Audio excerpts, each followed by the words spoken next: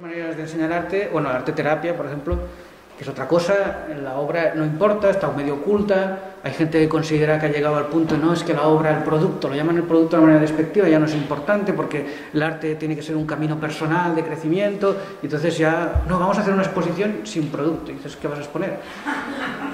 Entonces, bueno, pero esto puede, no voy a meterme que sea bueno o malo, pero yo creo que si no hay obra, no hay comunicación. Si yo dejo, esto es una escultura, la dejo aquí, dentro de mil años puede venir alguien y hay una comunicación. Bueno. para mí es muy importante las disciplinas del arte, la fotografía, la arquitectura, el cine, cada una expresa una parte de la condición humana que la otra no expresa. Y hay proyectos muy interesantes donde transdisciplinares, donde mezclamos artistas, disciplinas para fijar un significado nuevo. El proceso de creación es el proceso educativo. Ahora estamos en un proceso de creación. Estos cursos sobre espacio eh, con una función de aprendizaje son nuevos, estamos todos aprendiendo a hacerlos, a, impartirlos, a pensar. Nosotros no sabemos más que ustedes. ¿eh? estamos aquí todos. Bueno, ahora una lista de unos cuantos proyectos. Mm. Ah, bueno, primero un esquemita, lugares donde puede suceder la educación de arte para niños, artes, arquitectura en los colegios, fundamental, están en todos los países, pero no en todos son de la misma forma. Están las, universidades, por ejemplo, en Colombia, gran parte de la educación de arte para niños sucede desde las universidades. Están las escuelas de arte para niños, que en España básicamente solo conocemos de una manera sistémica las de música, que llaman conservatorios, pero por ejemplo en Finlandia hay escuelas de arte para niños en todas las ciudades y donde el niño puede aprender varias disciplinas eh, y durante años. ¿no? O sea, el tema es que a las escuelas le da una continuidad con una carga curricular, eh, hay un seguimiento del alumno, no es un taller aquí y un taller allá. ¿no? Pues, pues de arquitectura, cerámica, fotografía, cine. Luego están los museos, las galerías, la casa familiar es fundamental, los hospitales a través de la pedagogía hospitalaria y los medios de comunicación a través de series. Y luego hay un marco ahí que, gris, medio invisible, que son las leyes que ayudan a consolidar todas estas instituciones o, canales. Bueno, estos son tipos de proyectos, más o menos habrá otros, pero eh, en rojo he puesto, en este caso sería el artista que trabaja con niños. En las figuras grandes de color negro son los profesores, ustedes. Entonces, eh, nosotros podemos ir a colegios y está, trabajar siempre los niños con el profesor, podemos hacer trabajar como ahora, estamos con profesores, eh, están en los museos y bienales, donde yo trabajo mucho, pero siempre hay pocos niños. Están lo mismo, pero a través de las redes, que hemos hecho varios proyectos en Internet para llegar a estos mismos públicos, luego creación de redes, como sería el Google Playgrounds, redes profesionales. Bueno, entonces algunos ejemplos de proyectos de, que, digamos, mi reflexión siempre era desde la didáctica. Hay que resolver una acción, tenemos tantas horas, este presupuesto para estos niños. Ah, bueno, aquí también es un esquemita para que ustedes vean. Eh, cuando educación de arquitectura para niños, pues, hay muchas maneras de afrontarla. Yo puse en este, en este cuadro tres, tres masas de proyectos posibles, debe haber otras, ¿no? La arquitectura como lenguaje, que es la mayoría de gente en España como trabaja, es enseñar arquitectura eh, a través de cursos o talleres, pues que enseñan aprender qué es un edificio, estructura, proporciones, materiales, eh, qué es urbanismo, el porqué de las cosas, de la forma. Luego hay proyectos de participación, de diseño participativo, donde los niños son protagonistas, en España hay pocos, pero en Latinoamérica hay más. Y otro, por ejemplo, caminos escolares, donde a veces son, los niños participan en el propio diseño. Se podría hacer de otra manera la clasificación. Y luego en rojo he puesto algunos objetivos posibles. Hay proyectos donde lo importante es que el niño aprenda este lenguaje ¿no? de diseño, el lápiz, el dibujo, la escala, la maqueta. Hay otros que se ponen más énfasis en un conocimiento crítico de por qué tu ciudad, es así. ¿eh? Por el, urbanismo, la transformación de la naturaleza tiene unos porqués. ¿no? Entonces, conozcan este porqué para ser un ciudadano crítico. Hay otros más de expresión. Hay, no es que mezclan, se esfuerzan en llevar arquitectos o conozcan al profesional, hay toda una gama. No es lo mismo sobre el edificio, sobre el paisaje, sobre el territorio, sobre la ciudad. Bueno, entonces algunos ejemplos. Esto es un taller, empiezo por los más cortitos, es de una hora.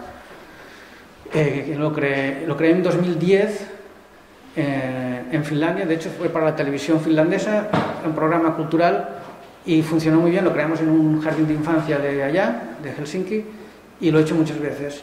Consiste, se llama la Casa de la Música, en los niños, lo he hecho desde niños de 4 años hasta 12. Funciona, yo creo que con los pequeños funciona mejor. Entonces, el niño entra a una sala grande, pues podría ser esta, vacía, o en el patio. En el patio se hizo una vez, hizo Irene. Entra y está lleno de papel blanco, de, generalmente de plotter, liso, ¿no? Es primera sorpresa. Parece un tatami, ¿no? Un papel gigante. Y todos los niños lo miran, papel blanco, no hay que tocarlo. Entonces, yo digo, no, primero hay que hacer es arrugarlo, y lo arrugan en forma en bolas. Luego se despliega otra vez. Ya están desplegadas en esta foto. Luego se unen con cinta de papel y se pintan con las manos y con música. Por eso se llama la casa de la música. O sea, una vez que hemos creado el gran lienzo blanco, con música lo pintan con las manos, gente les ponemos unos guantes, que les parece súper divertido, y, y entonces pues es mejor que vengan sin uniforme, ¿no? y se ensucien mucho, y pintan libremente. Una vez está el lienzo pintado, lo levantan, comprueban que esté todo bien pegado y tal, y se transporta el material, generalmente a un exterior en el momento de transporte, un momento de participación ahí, de, de sincronización, y llevarlo a un exterior donde hemos puesto unas cuerdas y generalmente ahí se cuelga el lienzo, haciendo una, convirtiéndolo en una cabaña donde puedes hacer lo que quieras. No tiene más complejidad. Un, papel, un objeto bidimensional como papel acaba siendo un tridimensional. Esto lo hemos hecho en muchas, muchas ciudades, aquí en Galicia lo hemos hecho varias veces con Proyecto Terra, que grabó un vídeo, lo tiene colgado en su web, donde explica todo el proceso, los materiales necesarios, está todo explicado ahí, en, la web de Proyecto Terra. Hay unas fotos, este fue en Helsinki en 2010, cuando lo inventamos, y luego en varias ciudades.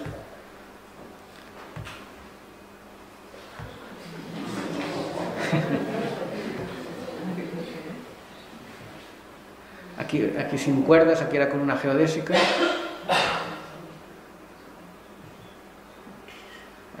queda más roto, ¿no? Siempre parece el mismo, pero siempre es diferente.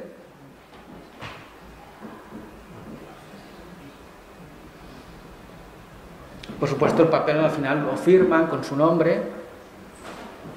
Y esta es la última foto. Esto era la casa de, eso era la casa de música, era casa de muñecas. Este también fue un taller inventado para un museo de Helsinki que hacía una exposición de juguetes. Y me pidieron uno sobre casa de muñecas, ¿no?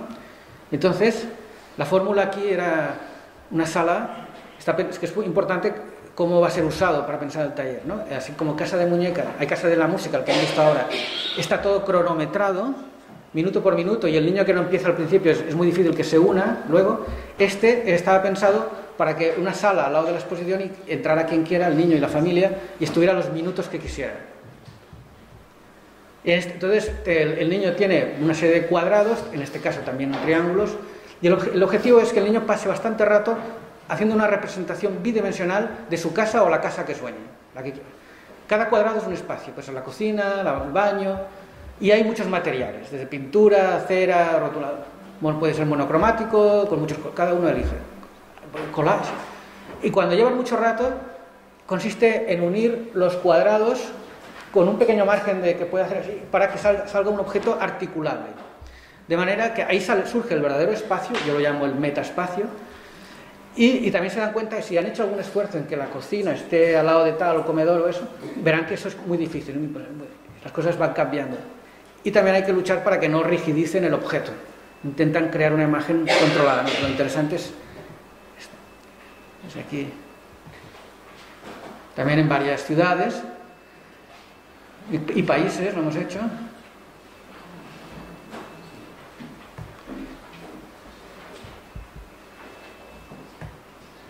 Esto fue con un grupo de profesores en, Ecuador.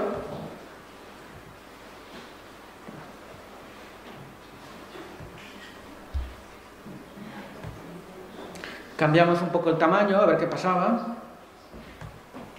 Más grande. Claro, cada vez necesitas un material más, más rígido, ¿no?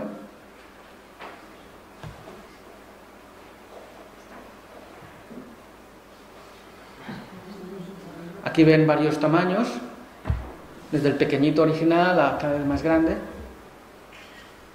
Esto es en Bogotá. Esto fue ya en Madrid, la última vez que lo hemos hecho, que ya es con madera y agujeros, un experimento nuevo. El problema es que vinieron niños así muy pequeñines y unir, tuvimos que unirnos nosotros con las cuerdas, que ellos no podían, pero queda, la pintura quedaba muy, muy bien, muy efectiva y duradera, ¿no? El material.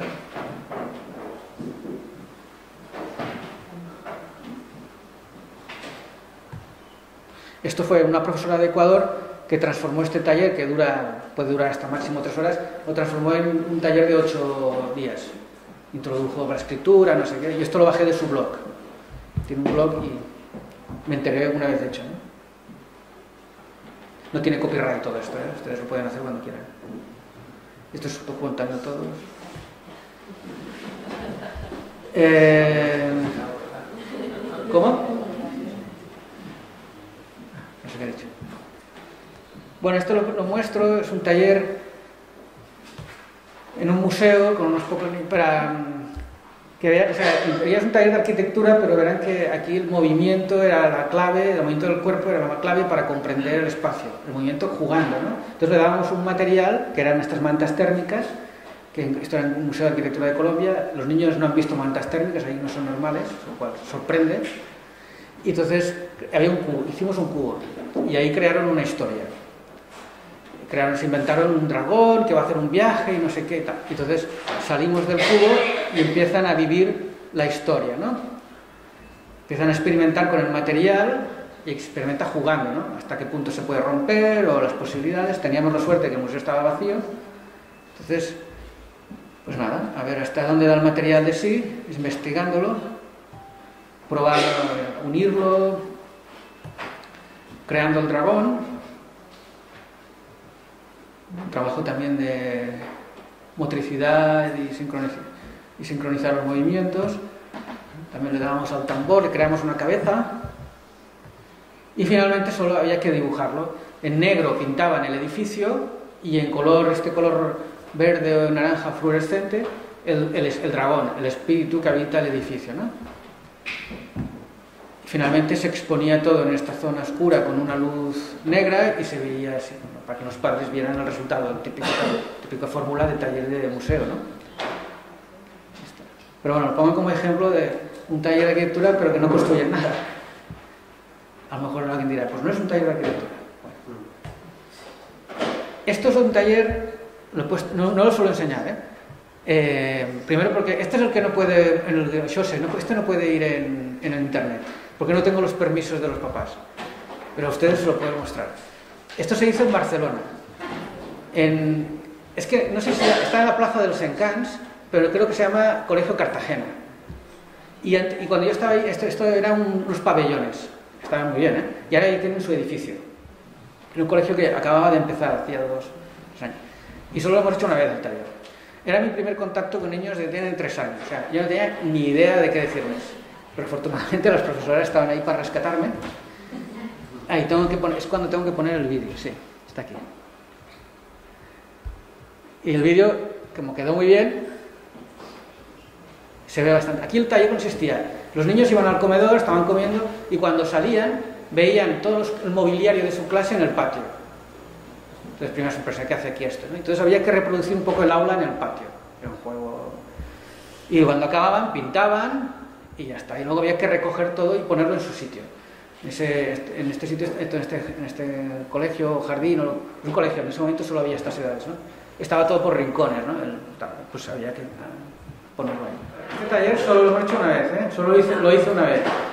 Y en la, en la, orden, digamos, era todo a su sitio. O sea, vuelta Sí. Y, y evidentemente sabían perfectamente dónde iba todo,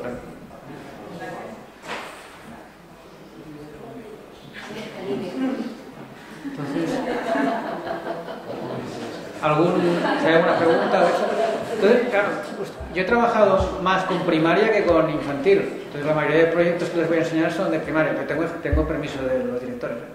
Entonces, eh, esto, por ejemplo, pongo un ejemplo de es un taller de 20 horas en el Museo Kiasma, que es el de arte contemporáneo de Helsinki. Estos talleres de verano, ¿no? no tienen clase. y teníamos, yo tenía, había unos 20 niños de, no sé, de 8 a 12, 13 años, demasiado dispar, entonces aquí el objetivo se llama mi, mi voz porque era el taller, la voz del edificio. El edificio es espléndido. Entonces había que investigar el edificio para que, el- para que la- se expresara con su propia voz. Entonces había primero una fase de estudio del edificio, visitar la vuelta, caminar por dentro, dibujarlo, que es la técnica ritual de conocimiento, el dibujo. Luego había que inventar, elegir el espacio favorito, cada uno elegía su espacio, inventar un personaje o dos para ese espacio, crear un diálogo, ensayarlo, grabarlo con soni- el sonido y acababa el taller con eh, todas esas grabaciones de personajes ficticios en una performance caminando por el edificio. Cada niño tenía un iPod con dos altavoces móviles y nos movíamos por el edificio eh, con estos sonidos, como si habitaran los personajes. Eh, entonces, bueno, tocaba, me ayudó un colega ya colombiano de músico electroacústico, de electroacústica en el tema, en el tema de sonido y grabación. Pero bueno, aquí lo ven como un ejemplo de manera, de mezclar artes y otra aproximación a la arquitectura. ¿no? Aquí est- estudio del edificio, dando la vuelta, la luz, la entrada, pintarlo con diferentes técnicas. La creación de personajes, ¿eh? con el dibujo del espacio elegido. En este caso era Michael Jackson y un gato un unicornio. Se inspiraba mucho también en las obras expuestas. ¿eh? Esto ya era el ensayo de, las- los diálogos escritos, esto es la, sala- la sala de didáctica. Y finalmente la performance, con estaban los padres pues moviéndose por el edificio. Como invierten mucho en educación, pues el taller es gratuito para todos los niños y todos tenían su iPod, sus speakers.